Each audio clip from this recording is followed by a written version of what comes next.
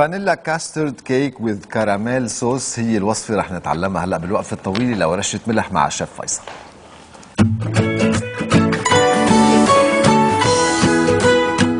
مشاهدينا لكان الوصفة في آه، سياق التحضير واللي هي بتتألف من walnut streusel أو فينا نستعمل pecan آه، محل الجوز. آه، فيكم تستعملوا أي نوع قلوبات كمان آه، اللي بتشوفوه آه، مناسب مثل اللوز مثل الفستق حلبي. فيكم تعملوا mix من القلوبات وتقطعوهم بهالطريقة هيدي مثل ما شايفين هون قدامكم.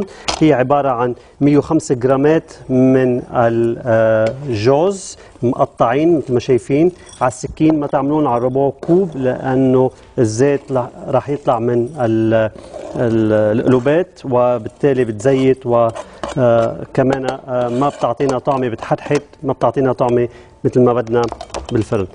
105 عندنا سكر أسمر 25 جرام. عندنا سكر عادي أبيض ملعقة 15 جرام.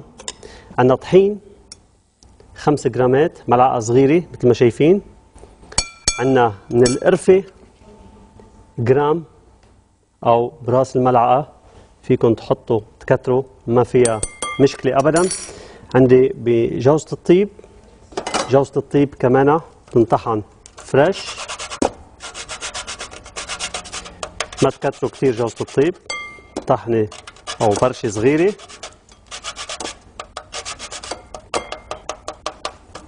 لكن صارت المكونات كلها موجودة هون. عندي جوز 105 جرامات 25 جرام من السكر الأسمر عندي آه، ملعقة كبيرة أو 15 جرام من السكر الأبيض العادي آه، جرام من القرفة برش جوز الطيب 5 جرامات من الطحين وطبعا عندي من الزبدة الدايبة 15 جرام. هون بنقلب كل مكونات مع بعضها. ما ضروري تطلع عنا عجينة متماسكة. بهالطريقة تا حتى لي كلها سوا تاخد بعضها والزبدة أكيد تتوزع الطحين القرفة.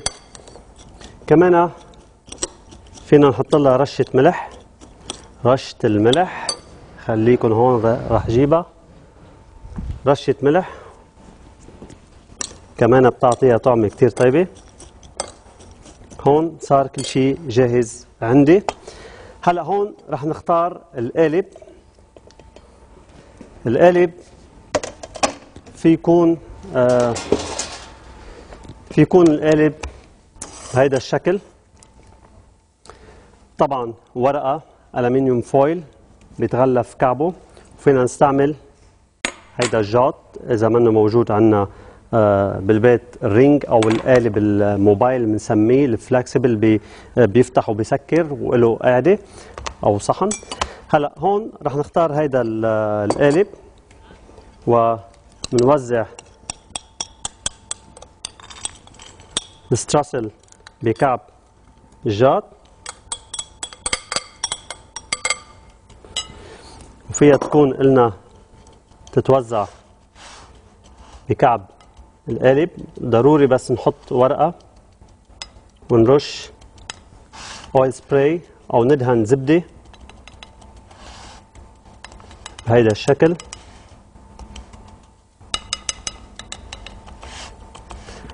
ضروري نكبسها. فيكم تحطوا لوز بودرة كمان معها. كمان بتعطيها طعمة ونكهة كتير طيبة وشهية. هون فينا نعملها كمان بلا الستراسل. فينا نعملها بلا الستراسل. بس هاي الطبقة بتعطيها قرشة كتير طيبة لل vanilla custard cake.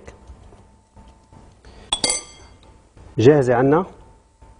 هلا رح ننتقل كرمال نحضر ال custard mixture ال custard mixture بيتألف من أربعة زلال بيض أربعة من صفار البيض مفصولين زلال صفار. عندي طبعا رشة ملح 500 ملي من الحليب. حليب لازم يكون فاتر على أو على حرارة الغرفة. عندي سكر 150 125 من الزبدة. و115 من الطحين طبعا رشة ملح وفانيلا. أول شغلة لازم نعمل ميرينج نحط الزلال.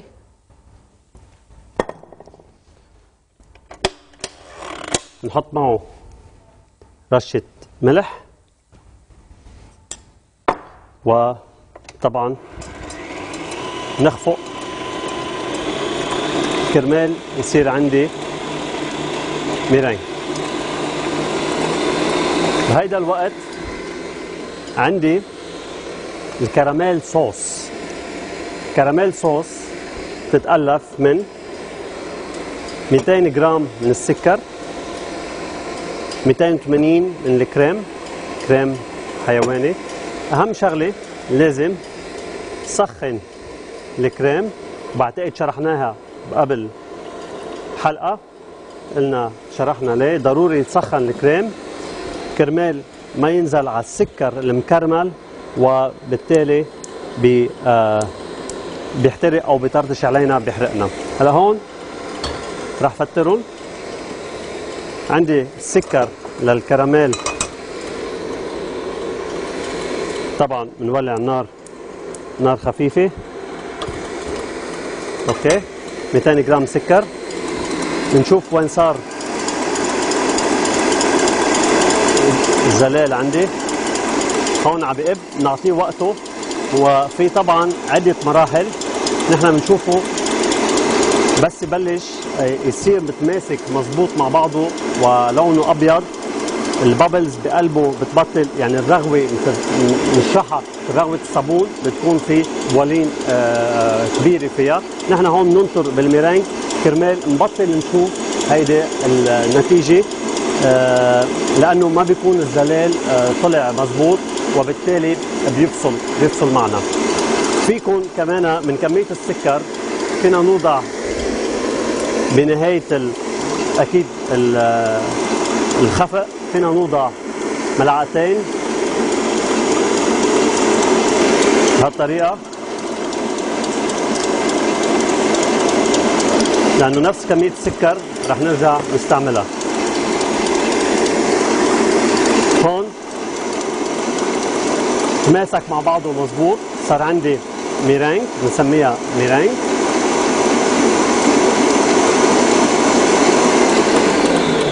رح نعمله هلا. طبعا رح ننقلهم على bowl تاني.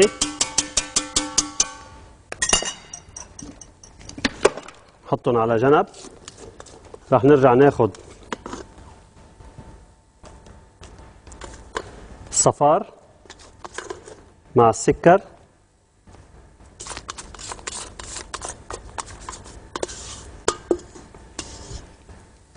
هون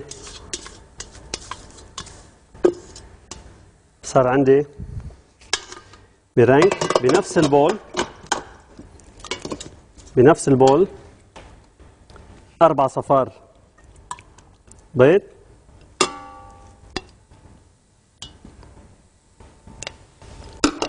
بنحط معهم فانيلا.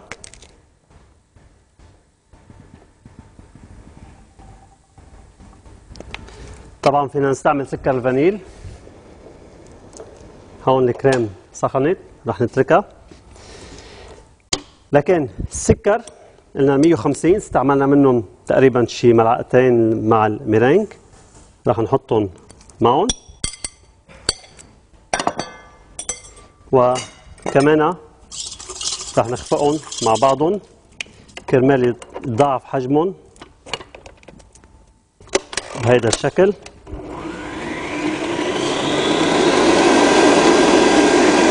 ياخد ضروري ضروري إنه الكعب إذا كميه قليلة يعني نعمل لها لفت أو نرفع البول شيء بسيط كرمال تاخد كل الكميات.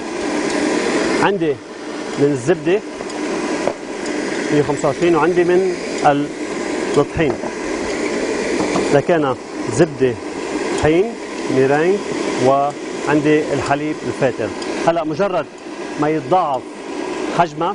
رح نشوفها كيف رح يتغير لونها كمان هون إذا بتفرجينا إياها الكاميرا. لونها تغير وطبعا حجمها تضاعف هلأ رح نشوفها. تطبيقها كثير سهل.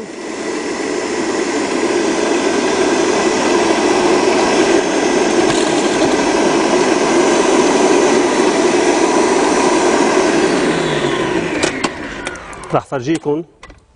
نتيجتها كيف؟ تغير لونها. صار فاتح أكثر أو لون بيج. وضاعف حجمها هلأ هون بنخفف المكنة. بذكر فينا نحضرها على الإيد إذا المكنة منا متوفره بالبيت أو المكنة التقليدية الخفاءة الموجودة عندنا بالبيت فينا نستعملها. ما ضروري تكون المكنه موجودة وما ضروري إذا منا موجودة هذيك المكنة نستعمل شريط الخفق وبنطول بالنا شوي عليها تطلع عنا الوصفة. بس ضروري إنه نوصل لهالنتيجة نكسر مزبوط الصفار البيض مع السكر مع الفانيلا تتضاعف الحجم يصير عندنا اللون off white الزبدة ضروري من قبل بوقت تكون مدوبه وباردة ما تكون سخنة. كرمال ننزلها فوق الصفار وبتنزل إذا بتعرفوا طريقة المايونيز بتنزل تدريجيا على الخفيف. مثل ما شايفين هون.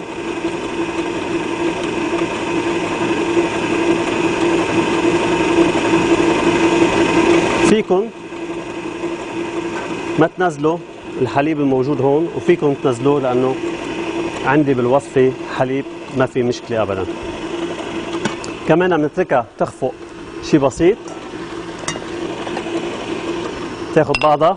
كمان راح نفرجيكم نتيجتها كيف راح تطلع. مثل ما شايفين فرجيها لل... للكاميرا. بصير عندكم هيدي النتيجة. وطبعا عندنا هلا لازم نضيف كمان الحليب. الحليب لازم نضيفه تدريجيا.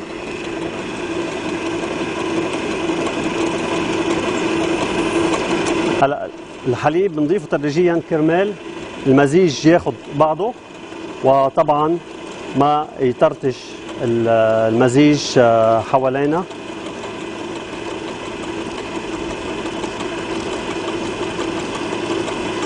بهذا الشكل تدريجيا.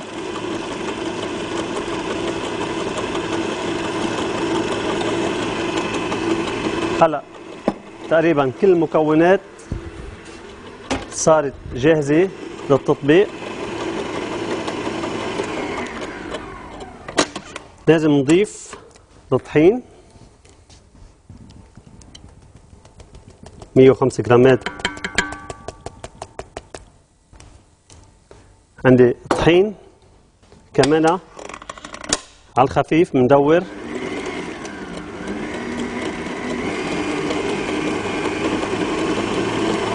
مجرد ما ياخذوا بعضهم.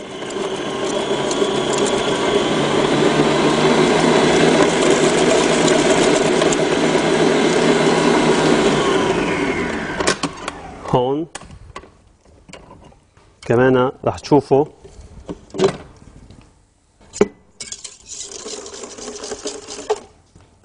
نتيجتهم رح تشوفوهم كتير سائلين ما تتفاجئوا فيها. ما تتفاجئوا نحن هون رح نوضع الميرينج أو زلال البيض. اللي خفقناه مع الملح وطبعا ملعقتين من السكر بنهاية الخفق.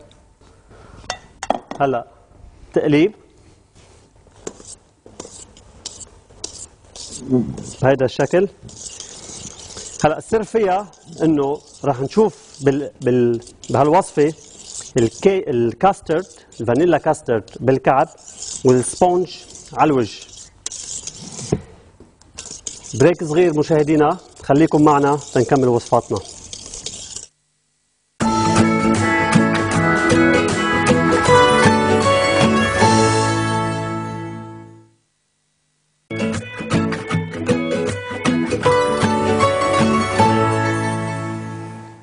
vanilla custard cake with sauce caramel بنكملها مع الشيف فيصل بورشة ملح.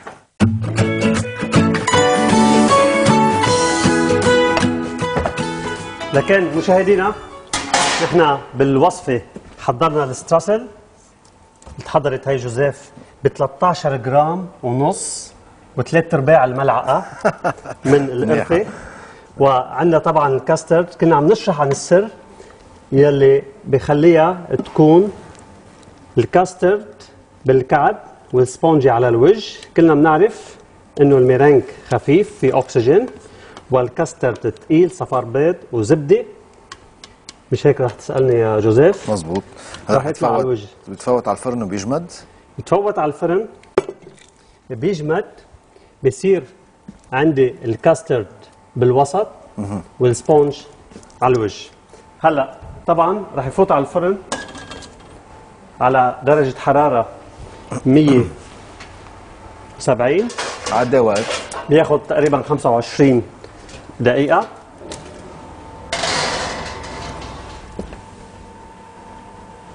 وطبعا رح يفصل. هيدا الشيء ال- إذا بدك السحري هون بلاحظ إنه دائما لازم نستعمل صينية ثانية تحت الاكل حتى ما يلزق آه. الكعب على طول على طول جوزيف. بستعمل أكثر من صينية عندي صينية بالكعب فينا نعم. نلحق على طول في صينية هون لأنه الغاز حرارته ضاربة بالكعب وعندي صينية هون كرمال أكيد أفضل. ما يحترق الكعب بترجع بتوزع الحرارة مزبوط وبتطلع بالتالي بينطبخ عن وجه الكيك إذا ما عندنا نار من فوق هلا الوصفة آه، جاهزة بالفرن طبعا نحن حضرنا البيكت أبل. رح نفرجي بعد شوي المشاهدين. آه. يمكن بعدها طرية. بعدها طرية فيها تجمد شوي. هلأ أكيد رح نفرجيهم إياها للمشاهدين ونشرح عنها. بهالوقت رح نحضر الكراميل صوص. الكراميل صوص بنحمي المقلاية أو طنجرة. وطبعا عندي الكريم 200 جرام من الكريم وأكيد هلأ المقادير رح تطلع على الشاشة وتسجلوها وتاخذوا ملاحظاتكم. كراميل صوص تختلف عن الكراميل. الكراميل اللي بيعملوه بالسكر والزبدة. هو. نفس الشيء. الشيء. بسموها butterscotch أها. هيديك بس هون مع. كريم محل الزبدة. هون كريم وسكر بس. وفينا نحط شقفة زبدة يعني شي 15 جرام أو 30 جرام من الزبدة ما في مشكلة. بالتالي بت بتجمد بالبراد. آه، بتعطيها نكهة طيبة ونعرف إنه الزبدة بتعطيها آه، نعم. مثل العادة طريق- طريقة تحضير ال- الكراميل أو رح نحطها على نار أقوى. كرمال نربح وقت. الكريم سخنت مثل ما شايفين. الكريم سخنة. نوضع السكر تدريجيا. كباية سكر. كباية سكر تقريبا. كباية ما, ما تكون مليانة لفوق 200 جرام من السكر. هو 1 كب صحيح؟ هيدا السكر. هلأ مجرد ما يدوب السكر رح فرجي امبارح عملت المستكة ice cream بلا آه، ما استعملنا ال machine. رح فرجي المشاهدين آه، كيف بتصير معي والنتيجة البصلة okay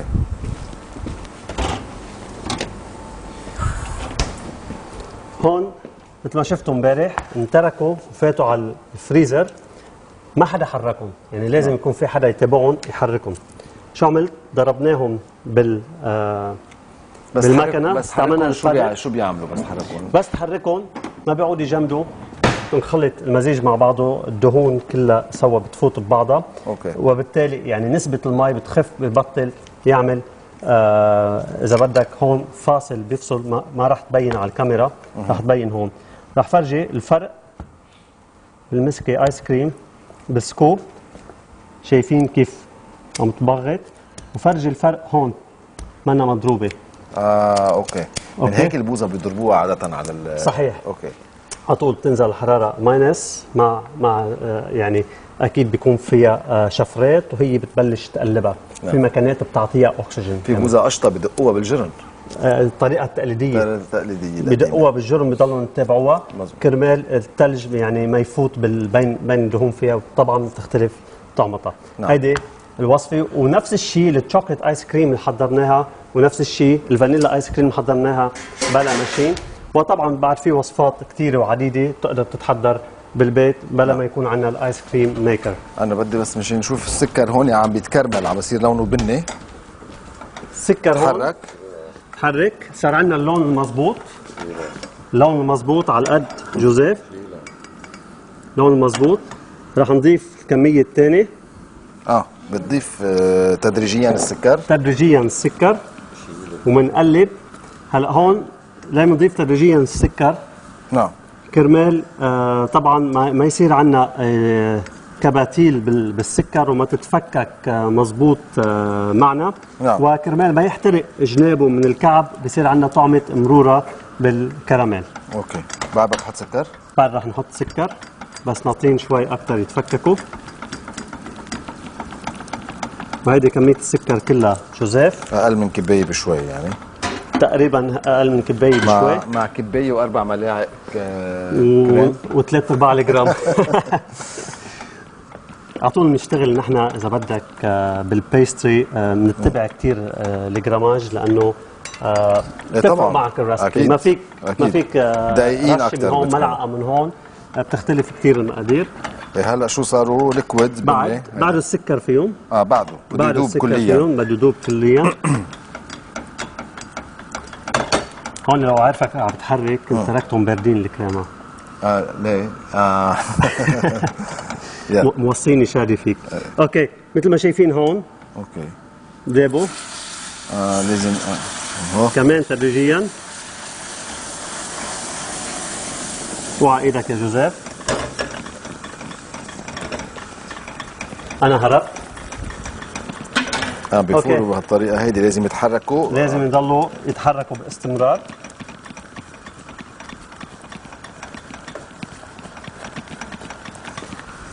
بس بعدني أنا ما ما فهمت مزبوط ليش السكر تدريجيا انحط. حتى يدوب شوي شوي حتى ما. يكبشل. كرمال يكرمل شوي شوي إيه. مع بعضه لأنه إذا حطينا كمية إيه. كبيرة بصير عندنا سماكة 2 سم أو 3 سم إيه. من ال- السكر. إيه. راح تحترق. من تحت. من تحت تبلش تتكرمل. وعلى الوجه راح يضلهم بصير في طعمة شعطة يعني. بالضبط. بصير في طعمة مرورة. هون أخذت الجناب كلها جوزيف. تقريبا في دقيقة حركناهم. رح نطفي النار. 100% رح تستعمل نحط كمية قليلة بصحن. كرمال يبردوا. كمية قليلة كرمال نزين فيها. بزيادة. enough بكفي. هلأ طبعا رح تبرد أسرع. ال magical cake جوزيف نعم. جاهز. عنا. مثل ما شايف. ال sponge. موجودة.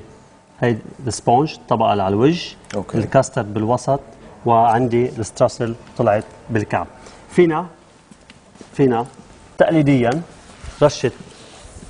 سكر ناعم. سكر ناعم. رشة سكر ناعم. وفينا طبعا كمان كراميل صوص يلي حضرناها. طبعا بدها وقت أكثر بالبراد. نحطها بصحن. سوري.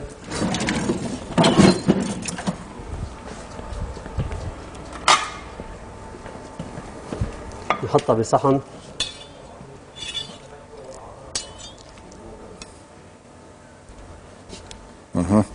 okay. مثل ما شايفين هلا streusel لو طلعت شوي زيادة. الكاسترد بقلبها مطبوخ.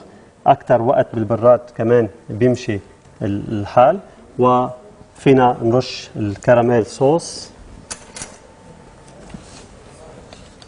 فينا نرش الكراميل صوص عليها بهالطريقة. تقليدية كتير الوصفة. مع الكراميل. كتير. طيبة. فينا إذا استعملنا القرفة. للزينة. للزينة بس على جنابها إذا عندي أي نوع فواكه حبة فريز أو طيب كيوي أو أي شيء هلأ. هيدي الصوص إذا عملنا كمية فينا نتركها بالبراد نستعملها ولا بتجمد؟ فينا نتركها بالبراد وما بتجمد وطبعا بنشيلها قبل قبل بوقت. نعم. وبالتالي بتكون عندنا بشكل بنسميها mise en place جاهز لأي تحضير ثاني بالنسبة للتفاح كمان بتصور بيلبقلو الكراميل إذا حطينا عليها كراميل. كثير هيك؟ كثير حتى بيلبقلوا الايس كريم اللي محضرينه نحن هلأ آه عنا. نعم. هي طبعا آه، على البخار استوت التفاحه من جوا. أنا شايف و- نتيجتها. بقلبها المربى عندنا الكرانشي ال- اللي هي ال- الكرامبل معمول بال- بالشوفان. نعم. والمربى بقلبها طبختها. بتاخذ مستوية وفيها بعدها يعني منا مستوية دايبة وكرانشي كليا. بنفس الوقت. بعدها كرانشي بنفس الوقت. مثل ما قلت إنه بنفس الوقت فينا نستعمل يعني فينا نحط على على صحن حبة نحط لها كراميل على على وجهها.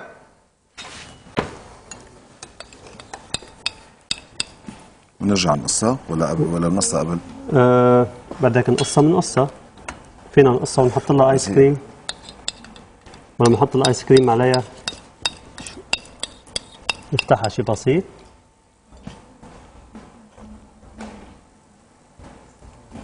يعني شكلها كتير حلو. ريحتها بتروح طيبة. ترويقها. ريحتها كتير طيبة. و فينا نقول آه، عن التفاح آه، كيف ما انطبخ طبعا.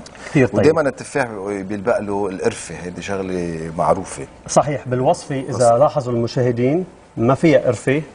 أنا حطيت رشة قرفة أو شي جرام جرامين من القرفة. ما فيها شرط ما فيها مشكلة أبدا تطلع آه، كتير طيبة.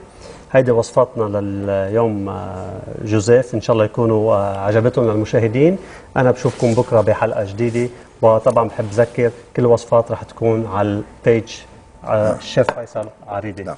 أنا قبل ما أختم شيف معلش بدي أرجع أذكر بعض المشاهدين بطريقة تحضير اللي هي اللي هي هون ال sponge cake اللي انعمل لوحده. ورجع نعمل الكاستر لوحده ونعمل الجوز مع السكر لوحده وندقه.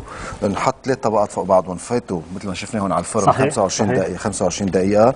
رجع نشيله ونحط على الشقفة واحدة بتتزين بكراميل. كراميل انعملت بسكر حرقناه آه،. تدريجيا رجعنا حطينا له crème fraîche سكر هي ما يعادل كبايه وال crème fraîche كباية وأربع ملاعق كباية ونص تقريبا تقريبا okay. ونعمله بهالطريقة هيدي اللي صاروا كراميل ويبقى الصوص بالبراد تستعمل لأي من الحلويات الثانية آه أنا بدي أتشكرك بدي لك يعطيك ألف عافية. على التفاح ويعطيك ألف عافية على ال vanilla custard نسميه magic cake كمان، ال vanilla magic. cake بالفعل هو magic لأنه آه انفصل طبقات انفصلوا جوزيف بعض آه، صحيح هي الطريقة بسموه magic cake ولكن شرحنا للمشاهدين نعم. السبب وليه ليه بصير هيك اللي هو البيرنج زلال البيض اللي انعمل هو خفيف راح يطلع لفوق وال mixture اللي حضرناه اللي هو بالأول الصفار البيض والسكر والزبدة اللي كانوا موجودين هن اللي خلوهم يكونوا بال نعم.